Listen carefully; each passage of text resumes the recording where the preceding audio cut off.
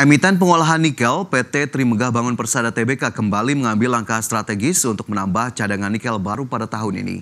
Langkah ini diharapkan dapat mendukung dan menyuplai kebutuhan tambahan biji nikel di dalam negeri.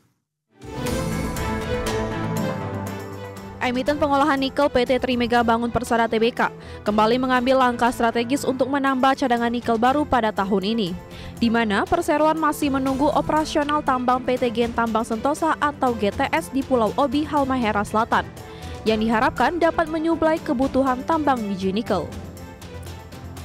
Kepala Hubungan Investor PT Trimega Bangun Persada Tbk, Lukito Gozali menyatakan bahwa perusahaan telah memiliki lima tambang termasuk TBP, Gen Permai Sentosa, Jiko Dolong Mega Pratiwi, Obi Anugerah Mineral, dan Gen Tambang Sentosa. Di mana dari kelima tambang tersebut, TBP dan GPS telah beroperasi sedangkan yang lain masih dalam tahap eksplorasi.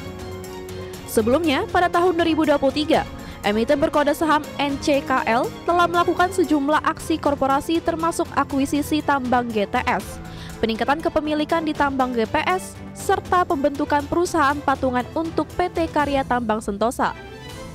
Adapun secara keseluruhan, kapasitas terpasang harita nikel di akhir tahun 2024 tercatat sebanyak 240 ribu ton kandungan nikel dalam MHP dan ferronikel per tahun, di mana angka tersebut meningkat dari kapasitas tahun 2023 yang mencapai 175 ribu ton kandungan nikel dalam MHP dan ferronikel per tahun. Berbagai sumber IDX Channel.